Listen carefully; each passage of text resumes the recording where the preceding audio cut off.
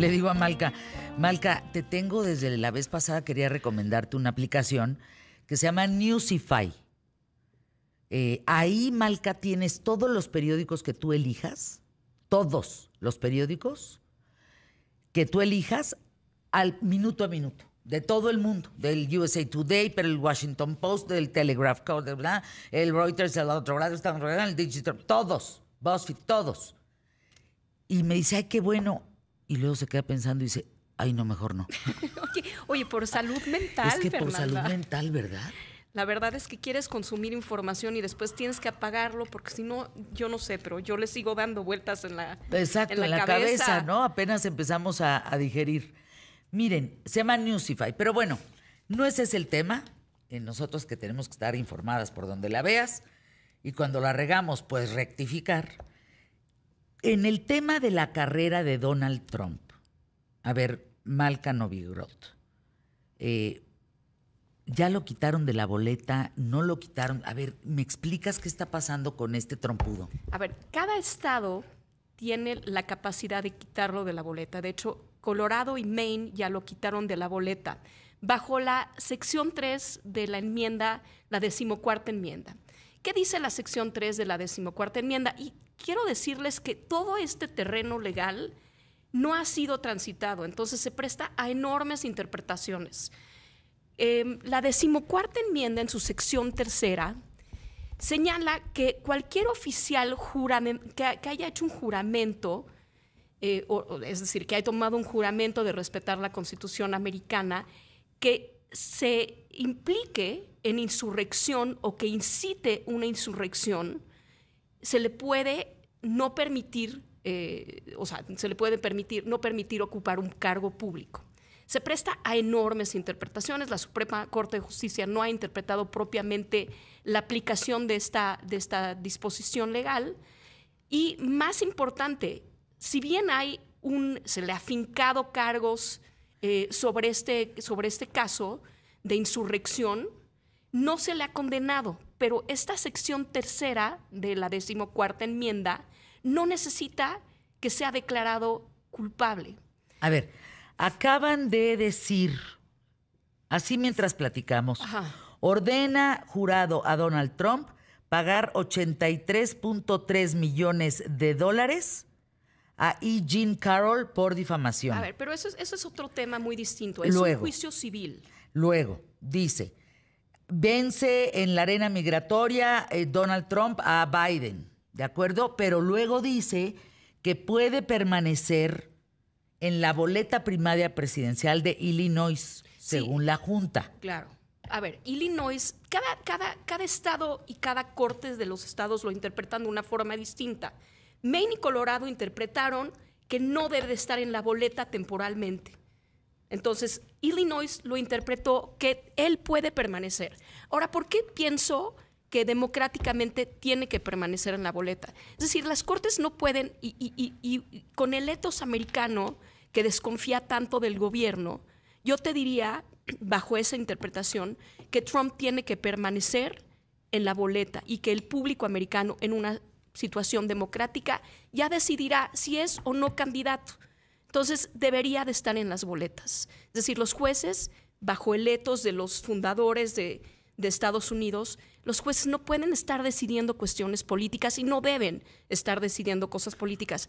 ¿Por qué resuena tanto toda esta, todas estas manipulaciones de utilizar la justicia como un arma política resuena mucho en el electorado americano y de hecho están respondiendo a Trump cada vez que dice esta narrativa y cada vez que tiene un revés en las cortes, el electorado está, está respondiendo amparándolo más, curiosamente. ¿Por qué? Porque hay un etos detrás del americano que le tiene desconfianza, particularmente a los republicanos, que le tiene desconfianza a, un, a, un, a una em, acaparación del gobierno de tus derechos.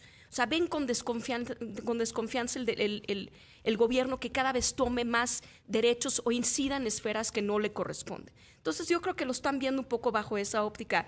De ahí que cada vez que tiene un revés, tiene más sustento de su electorado, ¿no? Y ahora, la pregunta que me hiciste, ¿puede ser candidato? Claro que puede ser candidato. ¿Puede ser presidente? puede ser presidente. ¿Y aún desde la cárcel? Pero, ojo, ojo, voy Ah. a explicar. Tiene dos interpretaciones y, y dos eh, minucias interesantes. A ver, Trump, y, y- y- y me lleva al punto de lo que mencionabas de un juicio, los juicios en- del orden civil, ojo, porque esos no me, no me preocupan tanto. ¿Inciden sobre la reputación y el carácter del presidente? Sí, pero jurídicamente me preocupan dos casos. En principio, tiene dos juicios eh, sobre delitos federales que se le están siguiendo. Uno en la Florida por documentos eh, que no resguardó correctamente, dos documentos que debió de haber resguardado. Otro en Nueva York, otro en Washington, claro, por el tema de insurrección, que son delitos federales. Ahora, yo te, yo te diría, bajo eh, la Constitución, en su artículo segundo, sección primera, señala que el- para ser presidente necesitas tres cosas. Una, haber nacido en los Estados Unidos. Dos, haber vivido al menos 14 años en los Estados Unidos. Tres, tener al menos 35 años. Punto. No dice nada respecto a si condenado o no condenado, purgando un delito o no purgando un delito. Entonces, ante el mutis no de la enmienda. Constitución, no dice nada. Ahora, la catorceava enmienda, la decimocuarta enmienda, en su sección tercera, habla de lo que te estaba diciendo, que es el fundamento legal porque algunos estados lo quieren retirar de la boleta. Dice, los oficiales que hayan tomado un juramento de respetar la Constitución, que estén involucrados en actos de rebelión, no pueden ocupar un cargo público. Ojo, aquí hay, habría que interpretar qué es oficial de los Estados Unidos. En muchas otras partes de la Constitución americana, oficial de los Estados Unidos no implica presidente. Entonces se presta a muchísima interpretación. Rebelión es otro término Sí, cargado. de no rebelión. A ver, Si rebelión. pueden ocupar o Lo no. que sucedió en el Capitolio, ¿En el Capitolio? ¿fue rebelión o fue una manifestación? No, fue una rebelión. No sabemos todavía. ¿Por qué? Porque las corte- la Corte no se ha pronunciado. En tanto la Corte no se Ah, pronuncia no podemos que decir fue, fue una rebelión. no fue una rebelión. O sea, la opinión en, en la Corte de la, la opinión pública Las es una imágenes cosa... hablan por sí solas, ¿estás Las de acuerdo? imágenes- Pero bueno, hasta que se pronuncie la... Exacto. Entonces, si son delitos federales, surge otra disyuntiva. ¿Pudiera el presidente, bajo la decimocuarta enmienda, sección 2, no, perdón, el artículo segundo, sección 2, otorgarse él mismo un perdón? Es otra cuestión legal que no ha sido decidida. Técnicamente sí. Lo que a mí me preocupa más es los casos que se le están siguiendo en Georgia, uno, que es también sobre los casos de, de incidir en las elecciones y, y rebelión y fomentar todo ello. Y el otro en la- en- en- es otro caso en, Nueva York de que son delitos de orden común. Y en esos no puede otorgarse un perdón. ¿Por qué? Porque en teoría tendría que el Estado otorgarle un perdón. Es decir, por ejemplo, en Georgia es una comisión, no es el gobernador, que tendría que otorgarle un perdón. Y en, Nueva York sí es el gobernador. Pero el gobernador difícilmente, y más que es demócrata, no va a otorgarle un perdón. Entonces, ¿qué pasa? Se abre todo un círculo y un circo eh, jurídico que claramente va a poner en jaque a un presidente que gane unas elecciones y que sea condenado por esos delitos. Fíjate, Dificilísimo. vienen dos preguntas muy interesantes que me parece... México, ¿quieres agüita? No, estoy bien, gracias. Dale agüita a mi Marta. Dele agüita antes Pues de que está- no hable. ¿qué, está- qué barbaridad. ¿No quieres de mi proteína? No, me- tampoco, tampoco, tampoco. Oye, Malca. Novigrot. A ver, México debería de estar más preocupado que Biden por Trump. México tiene que estar preocupado por los dos. Si cree que va a ir, que este tema de la frontera se va a ir, está muy equivocado. Gracias, Jos. Dale, ábrele su agüita, por favor. así. Gracias, qué chulo. Eso, un No, traguito. No, no, bueno. Gracias, Trae- no, bueno. Gracias, gracias. Este No, productor no. ejecutivo, ¿qué te pasa? y se ríe.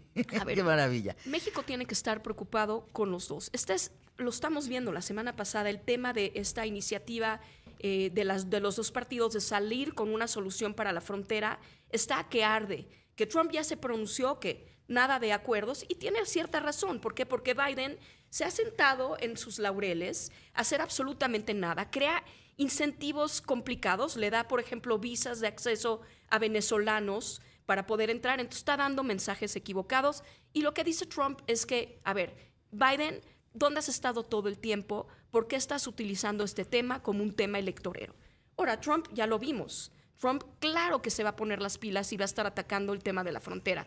En México nos encantan las simulaciones, pero las simulaciones ya no van a ser suficientes. Entonces México tiene que empezar a tomar medidas verdaderas para proteger la frontera o van a haber consecuencias con uno u el otro. Malcan Obrigot es eh, en X, tu cuenta. Gracias por estar aquí. Y les dejo este dato. Taylor Swift, en la aparición en el partido de la NFL, levantó 331 millones de dólares. Y dice así, y no es broma. El Pentágono supone que si ella se involucra en la próxima elección de Estados Unidos y dice voten por tal, los estadounidenses le van a hacer caso en un 80%. Aquí está. Los demócratas están de vestido largo, gracias a Taylor Swift. Imagínate.